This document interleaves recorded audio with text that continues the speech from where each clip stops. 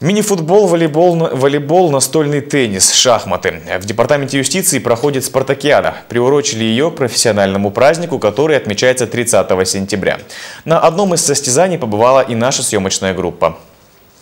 Нотариус Серкибул Анкалиев с детства увлекается шахматами. Говорит, игра способствует развитию не только логического мышления, но и умению думать наперед. Поэтому он в числе первых записался в участники интеллектуального турнира.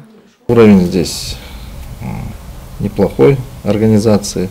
Думаю, все эти игры будут э, вести к единению всех спортсменов, коллег, всех, кто работает в этой сфере.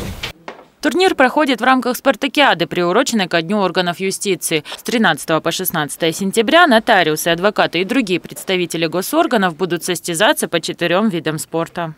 Спартакиада проводится в четырех дисциплинах, такие как мини-футбол, волейбол, шахматы и настольный теннис. Всего в Спартакиаде принимает участие более 100 сотрудников органов юстиции э, из шести подведомственных организаций. Награждение победителей по каждой секции пройдет 30 сентября во время празднования Дня юстиции. Наиболее ловких, сильных и сообразительных юристов ждут кубки, медали и грамоты.